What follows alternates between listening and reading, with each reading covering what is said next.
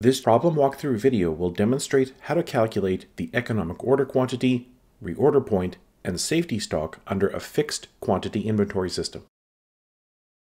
Here's the data for our problem. The B&S Novelty and Craft Shop in Bennington, Vermont sells a variety of quality items to tourists. It will sell 500 hand-carved miniature replicas of a colonial soldier each year, but the demand pattern during the year is uncertain. The replicas sell for $12 each, and B&S uses a 25% annual inventory holding cost rate.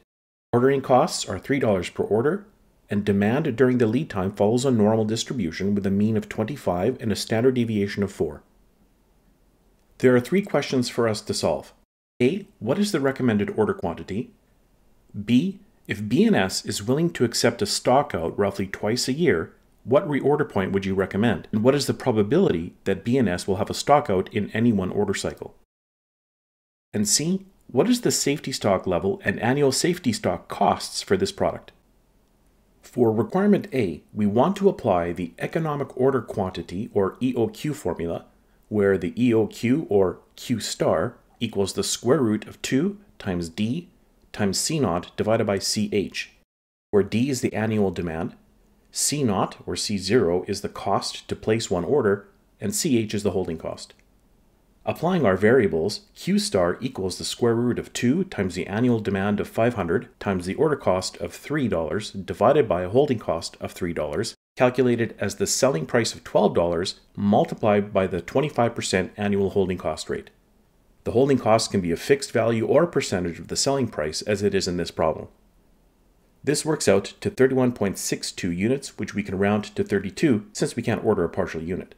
Let's use the more exact 31.62 for our remaining calculations and store that in our calculator memory. For requirement B, to calculate the reorder point, we want to use the formula R equals mu L plus Z times sigma L, where R equals the reorder point, mu L equals the average demand during the lead time, Z equals the number of standard deviations necessary to achieve an acceptable service level, and sigma L is the standard deviation of the demand during the lead time. We know the average demand during the lead time is 25 units, and the standard deviation is 4, and in order to solve for r, we first need to know z, and the first step for that is to determine the probability of stocking out, which equals the number of stockouts per year divided by the number of orders per year. The data doesn't tell us the number of orders per year, but based on the EOQ, we can calculate that as the demand divided by the quantity, or 500 annual demand divided by the 31.62 EOQ to get 15.81 orders per year. Now we can determine the probability of stocking out to be 2 stockouts per year divided by 15.81 orders per year, which yields 0.1265 or 12.65%. If we subtract this from 1 or 100%, that gives us 0.8735, which is the probability of not stocking out, and is the same thing as maintaining a service level of 87.35%. If we translate this into a standard normal curve to help us determine what z is, this is what we're looking at.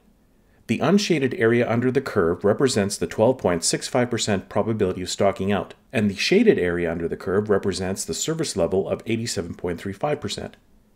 This curve diagram corresponds to this standard normal distribution table. If we look for the value closest to 0.8735 without going over, we will find it by triangulating 1.1 in the z column and 0.04 across the top, so about 1.14. If you want the exact value, you can use Excel with the formula norm.s.inv